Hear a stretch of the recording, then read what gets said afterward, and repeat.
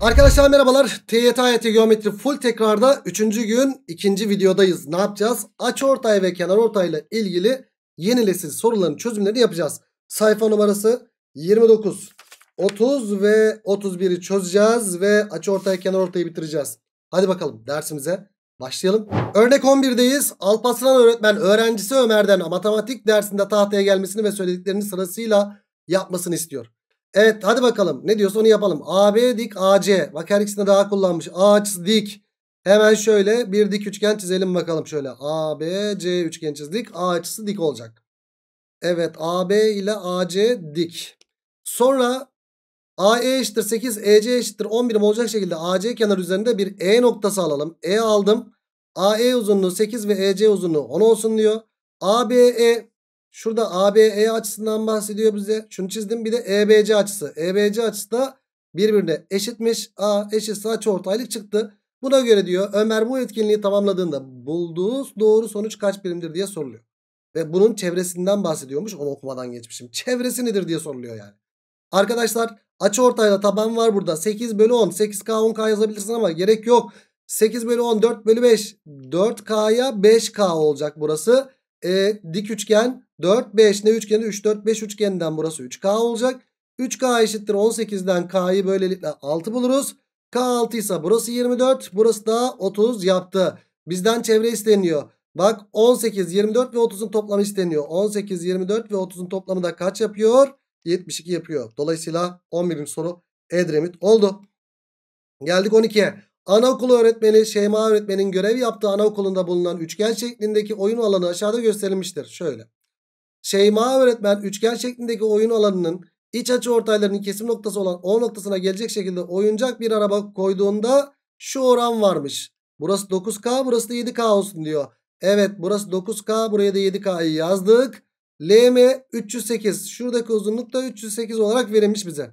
Şeyma öğretmenin görev yaptığı anaokulundaki oyun alanının çevresi nedir diye soruluyor. Evet şuradaki açı ortaylığa bakalım. Tabandaki oran 9'a 7. E hocam burası 9x ise burası ne olacak? 7x olacak. E büyükte bu da KN'ye de açı ortay. Kollar oranı yok tabanlar oranı yok. Ama dikkat et açı ortayın sol tarafında oran var. Sağ tarafında da aynı oran olmak zorunda. Yani 9y'ye 7y olmak zorunda. Burası A 7x artı 7y. 7x artı 7y eşittir 308. Buradan x artı y de kaç çıkar? 308'i 7'ye bölsek 4 44 galiba. Evet 44 yaptı. Şimdi bizden ne isteniyor? Çevre. Çevre. Çevre dediğimiz nedir? 16x artı 16y. Yani 16 parantezinde x artı y. Yani bu x artı y 44 idi. E biz burada 16 çarpı 4 çarpı 11 şeklinde yazabiliriz bunu. Bu da 64 çarpı 11 yapar. 11 ile çarpmanın kısa yolu 6 ile 4'ü ayırdık. Toplamını buraya yazacağım. Toplamı 10 yaptı. Onun hepsini yazamıyorum. Elde var biri de buraya yazıyorum o zaman. 704 yapar. Kısa yol 11 ile çarpmanın. Bak içine yarar belki. Evet neyse. Kaçıncı soru? Örnek 12'yi Balıkesir bulduk. Geldik örnek 13'e. Şekil bir de ABC açısı. CBD açısı alfa. Şu açı ve şu açı alfa olmuş. Sonra ne yapmış burada? BC kenarları eşit. Evet şuradaki kenarlar eşit verilmiş iki üçgende. Hmm. Bu üçgen buraya yapıştırılmış böyle. Şu şekil oluşturulmuş ve AB uzunluğu 76. Sonra AC uzunluğu 7. Sonra BD uzunluğu da 100. Evet şurası da 100. E arkadaş bu yapıştırılmış ama aslında ne var burada? Açı ortay var. Bak bu açılar da birbirine eşit ya. Açı ortayı da kola dik çizmiş. E ne yapacağız? Diğer kola da biz bir dik çizelim. Kollara çizilen dikmeler birbirine eşittir. 7 ise 7. Hatta burası 76 ise burası da 76 yaptı. E bunun tamamı 100'dü. Buraya ne kaldı? 24 kaldı. 7, 24, 25 üçgeninden burayı 25 buluruz. Bizden de zaten ne isteniyor? 25 isteniyor. Dolayısıyla 13. soruyu ne bulduk? 25 bulduk. Yani cevap Akçay oldu. Geldik örnek 14'e. A noktasında bulunan Alican, Alihan ve Ahmet isimli 3 arkadaştan Alican AE'ye. Şu. Alican. Alican. Sonra Alihan. Ondan sonra Alican AE doğrusuna doğrusuna göre sola doğru. Hmm, şu. Alican buraya. Neyse. Öbürü de neymiş? Niye okuyamadım ben bunu? Dur bakayım. Şurada Alican A'ya doğrusuna göre sola doğru x derecelik açı yapmış. Sola doğru x derecelik açı yapmış. Alihan ise A'ya doğrusuna göre sağa giderek şu sağa giderek şu şekilde X derece giderek şöyle gelmiş. Bu da Ali Han'mış. Sonra AB ve AC doğruları boyunca hareket ederken de Ahmet de AE doğrusu boyunca hareket etmiş. Burada da Ahmet de şu şekilde hareket etmiş. Neyse sorunun bu kısmını halledebildik. Alican B noktasına Alihan C noktasında ve Ahmet E noktasında durmuştur. Evet bunlar bu noktalarda durmuş. Alican'ın Ahmet'e en kısa olan uzaklığı 8 metre. Bak Alican'ın Ahmet'e en kısa uzaklığı 8 metre. Ya da Ahmet'in Alican'ın en kısa uzaklığı şu dik olduğu yer olmaz mı? O yüzden burası diktir. Diklik burada gösterilmek zorunda değildi. Burası dik olacak. Sonra Ahmet'in Alihan'a uzaklığı bak en kısa demiyor. Alihan'a olan uzaklığı şurası yani. Aslında bu yola alan en kısa uzaklığı dese buraya da dik olarak alabilirdik. Ama buradaki uzaklık verilmiş bize 17 olarak verilmiş. Burası da 8 olarak verilmişti. Sonra Alican A noktasından B noktasına 24 metre yürüyerek şuradan şuraya 24 metre yürümüş. Alihan da A noktasından C noktasına en az kaç metre yürüyerek gelmiştir diye soruluyor. İşte bizden burası soruluyor. En az diye soruluyor. Bunun sebebini şimdi söyleyeceğim. Bak burada buradaki açılar eşit mi? Eşit. Açı ortay kola dik çizilmiş. E o zaman diğer kola da biz bir dik çizebiliriz. Kollara çizilen dikmeler ne olacaktır? Birbirine eşit olacaktır. 8 ise burası da 8 olacaktır. E 8 17 ne üçgeni? 8 15 17 üçgeninden burası 15 çıktı. E ayrılıkları yerlerde eşit olacak ya. Hocam burası 24 burası da 24 olacak. Dolayısıyla 15'i buradaysa buraya da ne kaldı o zaman? 9 kaldı. Cevap ne yapar? 9 yapar. Niye en azın altını çizdik burada? Dikkat et. Çünkü buradaki 17 birim uzaklığı şu tarafta da şöyle. Bak 17 birim uzaklığı olabilirdi. Yani bizim Alihan şu kadar daha hareket edebilirdi. Yani burası 17. Yani 17 bak bu dik doğrunun bu tarafında yukarısında da olabilir aşağısında da olabilir. Aşağısında olursa 8 17 burası 15 olacak. O zaman bizim Alihan 24 artı 15 daha gitmiş olacaktı. Yani 39 gitmiş olacaktı. O yüzden en az değeri soruluyor burada. Buradaki ince noktalara da dikkat edin. Düşünme yapınızı geliştirebiliyor. Çünkü tekrar söylüyorum. Tekrar tekrar tekrar söylüyorum. Şuradan çizilen dikin bu 17 solunda ya da sağında olabilir. Ya da yukarısında ya da aşağısında olabilir. Yukarısında olduğu zaman en az değeri çıkıyor. O da kaç çıktı? Burası 15 iken tamam 24 ya 9 oldu. Eğer bize en fazla değeri sormuş olsaydı çizdiğimiz dikmenin sağ tarafında ya da aşağı tarafında olacaktı. E burası e, 8 15 17'den 8 15 17'den 15 çıkacaktı. Buraya kadar kısmı da 25 olduğuna göre bizim o eleman buraya da gelebilirdi. Bu tür ince noktalarda önemli. O yüzden bunun üstünde duruyorum. Dikkat et lütfen. Şurayı geliştirmek. Önemli olan burayı geliştirmek. Geliştirmeye çalışıyoruz ve devam ediyoruz arkadaşım. Cevap Balıkesir oldu. Geldik örnek 15'e. Sözel bir soru. Korkmuyoruz. Adam ne diyorsa aynısını biz şekil olarak çizeceğiz. AB 15, AC 20 olan bir üçgen çiziniz. Hemen AB ile AC'yi şöyle bir üçgen çiziyorum. Bak 15'e 20. Dik üçgen falan dememiş bana. Ben de rastgele bir üçgen çizdim. ABC şurası 15 burası 20. Hemen insanın 25 yazısı geliyor değil mi? Dur bakalım. Sonra ne diyor? AC üzerinde AD eşittir 4 olacak şekilde. AC üzerinde AD eşittir 4 olacak şekilde. O zaman buraya ne kaldı? 16 kaldı. Değil mi? Ee, sonra BD'yi çiziniz demiş. Hemen BD'yi de çizelim. Şöyle. D noktası işaretleyip BD'yi çiziniz. Çizdik. BAC açısının açıortayını çiziniz. BAC'nin açıortayını çiziniz. Şunun açıortayını çizdim şöyle. Açıortayı da aha da böyle yaptı. Sonra BC'yi kestiği nokta E, BD'yi kestiği nokta da F. BD'yi kestiği nokta F. Burası da E olarak adlandırılmış. D'ye doğru parçasını çizerek oy oy oy daha çizimler bitmedi. Çizmeye devam. Şunu çizerek BDE açısının BDE açısıyla şuradaki açıyla EDC açısının a buradaki açının da eşit olduğunu belirtiniz. Tamam belirttik. EC uzunluğu 8. Burası da 8'miş. Olduğuna göre DF uzunluğu kaçtır diye soruluyor bize. Şuradaki DF uzunluğu isteniyor arkadaşım bizden. E şimdi ne yapacağız? Açı ortaylara bakacağız. Arkadaş öncelikli olarak şuraya bakacak olursanız burada bir açı ortay var değil mi? Evet bu açı ortaya bakalım. Şuradaki açı ortaya bakacak olursak hocam 16 iken 8 olmuş. Yani 2'ye şöyle bakacak olursan şöyle bakacak olursan 2'ye 1 oran var. O zaman burada da 2'ye 1 oran olacak. Yani burası şöyle 2 n'ken burası ne olacak? N olacak. E, buradaki n değerleri yok ama. E burada ne yapacağız? Şuna dikkat et. Burada da büyük üçgende de 15 bölü 20 oran var değil mi? 15 bölü 20 Şuraya da n diyelim. n bölü 8'e eşittir. 4'e bölsen 4'e bölsen kaç yaptı? 5. 2. 5'e bölsen 5'e bölsen 3. 2 kere 3 6. N'i 6 bulduk. İçimiz kolaylaştı. E şimdi bu 6 ise bak burada da ne vardı? Hop 16 bölü 8. 2'ye 1 oran var. Burada da 2'ye 1 oran olacak. E, 6 ise şunun tamamı 12 olacak. Yani buraya 12 eksi x mi kaldı? Evet. Çünkü bunun tamamı 12 olmak zorunda. E şimdi bir de burada ne var kardeşim? Şuradaki üçgende de kırmızıyı hiç kullanmamışız. Şuradaki üçgende de bir açıortaylık var. Koldaki oran 15 bölü 4. Yaz buraya 15 bölü 4 eşittir. 15 bölü 4 tabandaki oran 12 eksi x bölü x'e eşit olacak. Sadeleştirme falan filan olmuyor. 15x eşittir 48 eksi 4x oldu. Buradan 19x eşittir 48 oldu. Ve x'de de ne buluruz böylelikle? x de 48 bölü 19 diye çıkar. Tamamıyla elimiz çalıştı başka bir şey yapmadık. Bir de böyle dilimiz çalıştı. Anlatırken ya da soruyu böyle çizerken dilimiz çalıştı. Öyle çok da zor bir soru da değil. Rahat bir şekilde yapabileceğimiz bir soruydu. Evet 15'i Ceyhan bulduk. Geldik 16'ya. Katlama sorusu kardeşim. Yani özellikle açıortay konusunda çok çıkar. Özellikle ilerleyen konularda nerede? Dikdörtgende paralel kenarda falan çok çıkar. Üst üste binen açıların eşit olması. Hatta bu dikdörtgende ve paralel kenarda Z'ye de dikkat etmek çok önemli. Oraya geldiğimiz zaman da o tür sorularda göreceksiniz zaten. Neyse. Şimdi ön yüzü turuncu arka yüzü mavi değil de şu gri olan diyelim. Ya da renk kayması olmuş burada. Neyse fark etmez.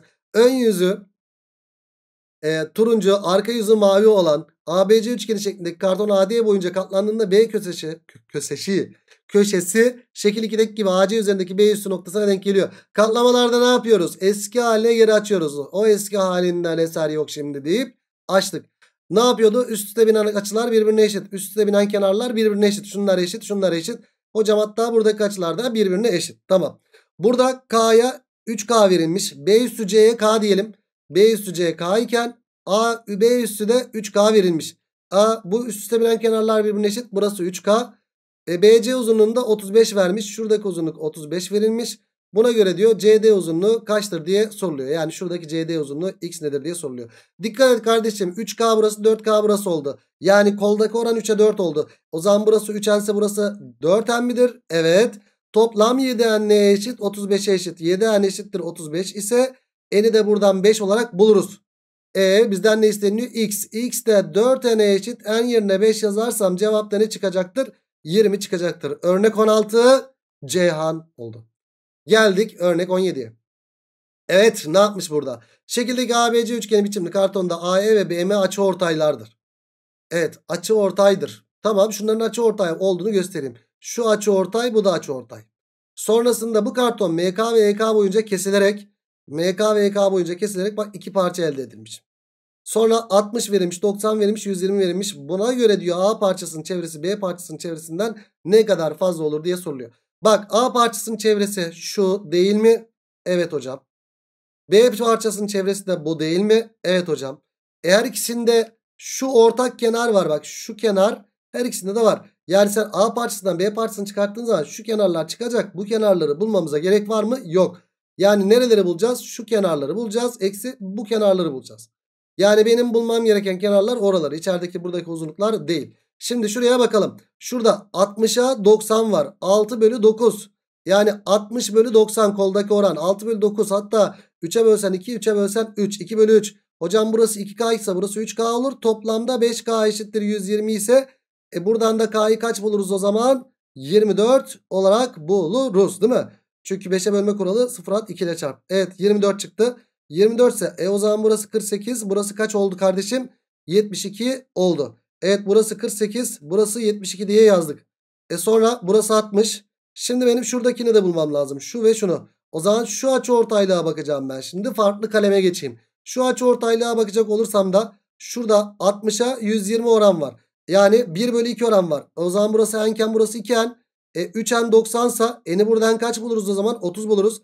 N 30 burası da kaç oldu o zaman? 60 oldu. Yani şurası 30 burayı da 60 mı bulduk? Evet.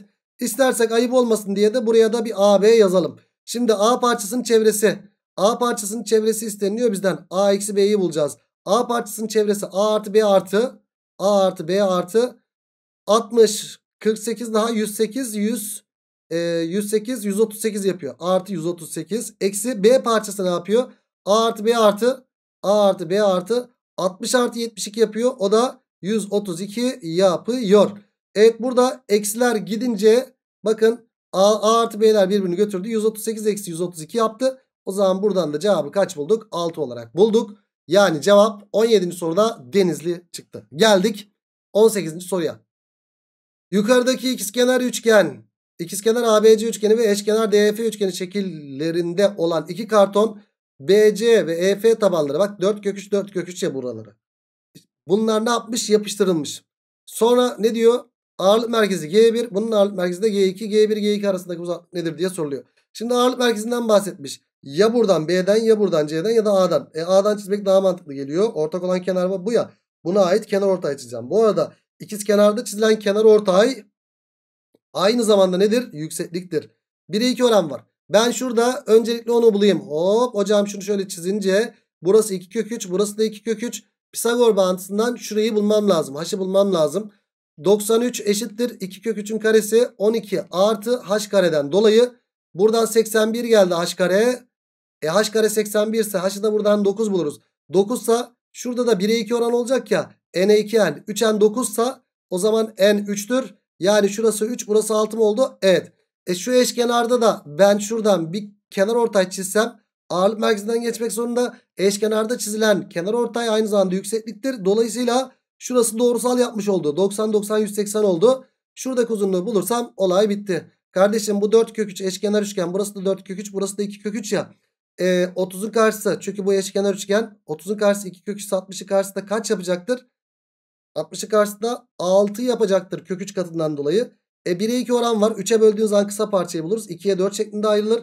Benden de zaten şu uzunluk isteniliyor. Bu uzunlukta G1 G2 arasındaki uzaklıkta şu 3 bu 2 doğrusal olduğu için direkt G1 G2 uzunluğunu verir. Toplamda kaç yapar o zaman? 5 yapar. Yani sorunun doğru cevabı A seçeneği oldu. Geldik 19'a. Aşağıda cam ustası Ali'nin elindeki dik üçgen şeklindeki cam parçasının görseli verilmiştir. Şöyle bir görsel. Ali bu camı 10 santimetrelik bakın sıfırdan 10'a görüyorsunuz. Bir cetvel var elimizde. Ahşap cetvel yardımıyla dik bir şekilde kesecektir. Dik derken şu BC'yi dik bir şekilde demek istiyor. Hemen şurası. Ama ÖSYM bu cümleyi daha net bir şekilde kurar. Biz kuramamışız. Özür diliyorum. E burada açıkladığımız için bence sıkıntı da yok. Burası BC'yi dik bir şekilde tamam mı? BC'yi dik bir şekilde kesecektir. BC açısını 30 derece vermiş. 30 90 ise burası 60. Bak e, buradaki cetvelin esprisi nedir? Hocam şuradan şuraya olan uzunluk 2'den 5'e kaç birim? Burası 3 birim.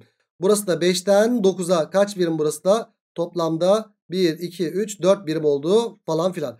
Aa 90'lı bir dik üçgen ya bu. 90'lı sorularda ağırlık merkezi varsa ilk aklımıza ne gelecekti? Muhteşem. Hemen muhteşem üçlü gelmesi gelsin. Ağırlık merkezinden şöyle çizelim kardeşim. Şunu çizdik. E hocam bunu çizince burada muhteşem üçlü oluştu. Şu eşit bu eşit. Buradan kenar ortay çizdik ya. Bu da eşit oldu mu? Oldu. E hocam şu ikizkenarlıktan dolayı 30 sa burası da 30'dur. 2 iç açı bir dış açı hop burası 60 yaptı. E burada bir 30 60 90 üçgen çıktı. 60'ın karşısı 3 ise 30'un karşısı kök 3'e bölünmüş halidir. Kök 3'tür. 30'un karşısı kök 3 ise 90'ın karşısı da burası 90 ya. 90'ın karşısı da 2 kök 3'tür. Burası 2 kök 3 iken burası da 4 kök 3 yaptı. E burası da çift çizgi çift çizgi çift çizgi olduğundan dolayı e, 6 kök 3 6 kök 3 ve burası da 6 kök 3 oldu. Toplamda burayı da bulmuş olduk. Ama bizden ne isteniyor? G noktası cam parçasının ağırlık merkezi olduğuna göre B noktasının cetveli olan uzaklığı isteniyor. B'nin cetveli olan uzaklığı yani şuradaki uzunluk isteniyormuş. Şurası toplamda 6 kök 3 ya. Kök 3'ü de buradaysa buraya ne kaldı o zaman? 5 kök 3 kaldı. Bizden 5 kök 3 isteniyor. Cevabımız 5 kök 3 yani 19. soru Ceyhan oldu. Geldik örnek 20'ye. Aşağıda ön yüzü mavi arka yüzü sarı olan renkli kağıt veriliyor. Şöyle 60 derece ve 12 verilmiş. Tamam bu kağıt AC kenarı BC üzerine gelecek şekilde katlanmış. Sonra C noktasının bir şeyinden bahsetmiş. Katlamayı bir düşünelim. Şimdi burada kaç 60 derece mi? 60 derece. E o zaman burada açılar birbirine eşit olacak. 30'a 30 olmak zorunda burası. Sonra üst üste binen kenarlar birbirine eşit. Şunlar birbirine eşit. Şunlar da birbirine eşit olacak. E hocam 60 dereceye burası. 60 ise kenarlıktan dolayı burası da 60 burası da 60 oldu. Hatta eşkenar üçgen çıktı. E sonra ne olacak burada? Burada sonra 30 60 90 üçgeni burası 90 derece çıktı. C noktasının AA üstüne olan uzaklığı. C noktasının A üstüne olan uzaklığı zaten buradaki uzaklık oluyor. Bu uzaklık kaç verilmiş? AB uzunluğunun yarısı. AB'nin yarısı. Hmm, burası 6'ymış. Peki burası 6 ise eğer. Şimdi ne olacak? 60'ın karşısı 6 ise 30'un karşısı 2 kök 3 olacak. Burası da 2 kök 3 olacak. 30'un karşısı 2 kök 3 ise 90'ın karşısı da kaç olur? 4 kök 3 olur. Sonra e hocam şurası 12. Burası 4 kök 3. 4 kök 3. Burada bir bilgiyi kullanamıyoruz. Başka bir şey var mı burada? Şu açılar da eşit. Burada özel bir durum geliyor mu? Cık, gelmiyor. Ne yapacağız? Hadi bakalım şuraya gelelim. Şuraya bir 4 kök 3 yazalım. Oraya 4 kök 3 bulduk ya. He, şimdi bizden ne isteniyor arkadaşlar? Şimdi bizden alan ABC isteniyor. Demek ki burada 4 kök 3'ü bulmamız isteniyordu. Peki burası 4 kök 3 ise ne yapmamız gerekiyor?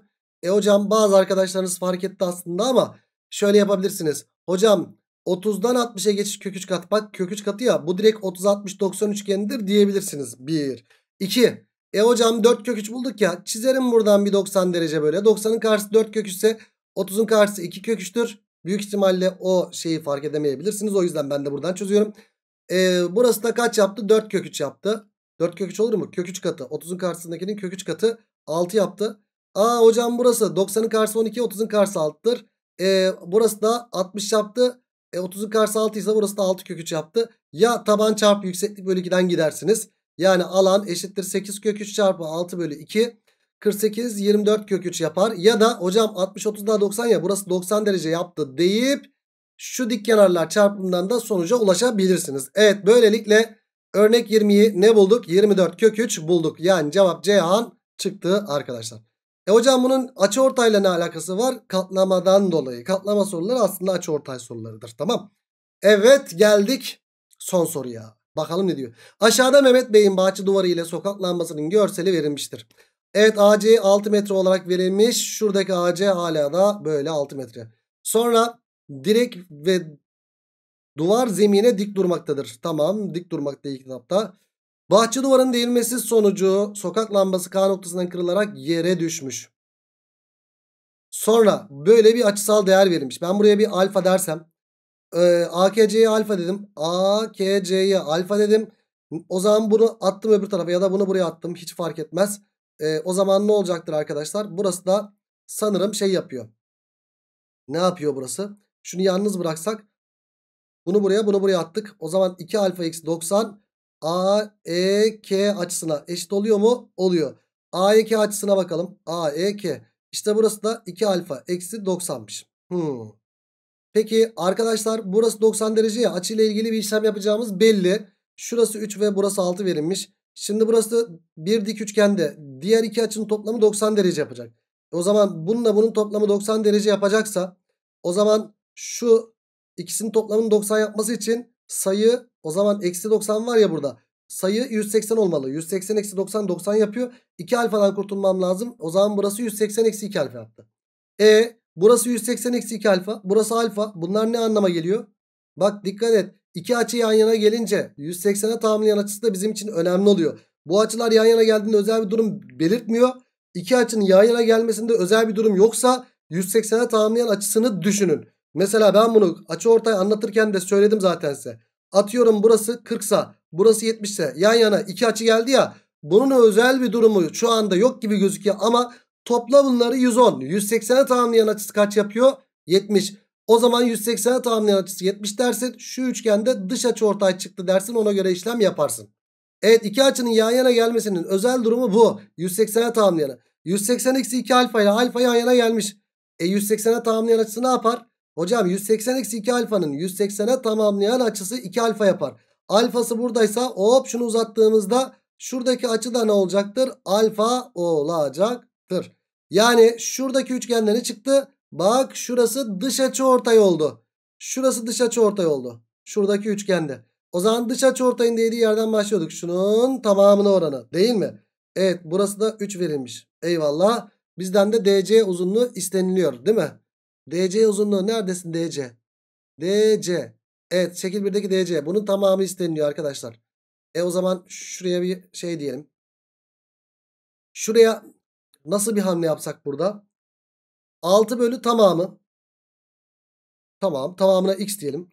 6 bölü tamamı x eşittir. Neye eşit olacak? 3 bölü y'ye mi eşit olacak? Evet 3 bölü y'ye eşit olacak. Şuraya da y diyelim isterseniz. E buradan 6 bölü tamamı x bölü y'ye eşit olacak. Hatta buradan güzel bir şey geldi mi? Geldi. Ne geldi? Şu 3 ile bu sadeleşti. 2 yaptı. Buradan da x eşittir 2y mi yaptı? Evet. x eşittir 2y yaptı. Şurası 2y yaptı. Tamam 2y ise burası 6 ise buraya da 2y eksi 6 mı kaldı? Evet. Bak şöyle bir dik üçgen çıktı karşımıza. Şöyle bir dik üçgen. Şurası y. Burası 2y eksi 6. E sonra burası ne geldi? Şurası da hocam 3.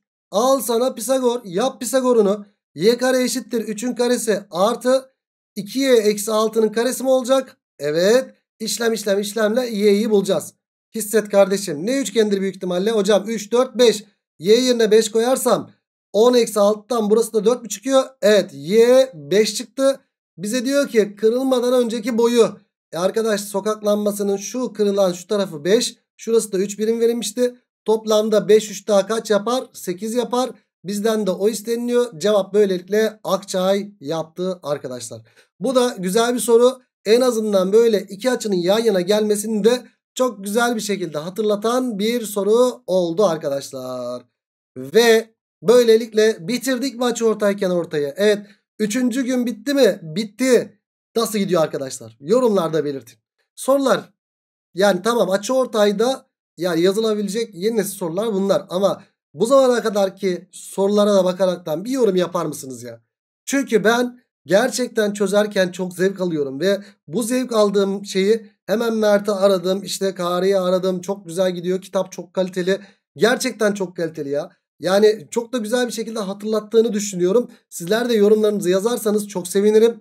Gerçekten ben aşırı zevk alıyorum. Burada bu sorularla size bu bilgileri vermek aşırı derecede beni mutlu ediyor. İnşallah siz de bu anlamda mutlu oluyorsunuzdur. Gençler 3. günü bitirdik. Ramazan Ramazan oruçlu oruçlu çok güzel gidiyor değil mi? Tekrarlar bu arada. Şimdi neye geleceğiz? Üçgende benzerliğe geleceğiz bir sonraki gün. Yani dördüncü gün o zaman üçgende benzerliğin konu anlatımında değil de tekrarında görüşmek dileğiyle kendinize iyi bakın. Hoşçakalın.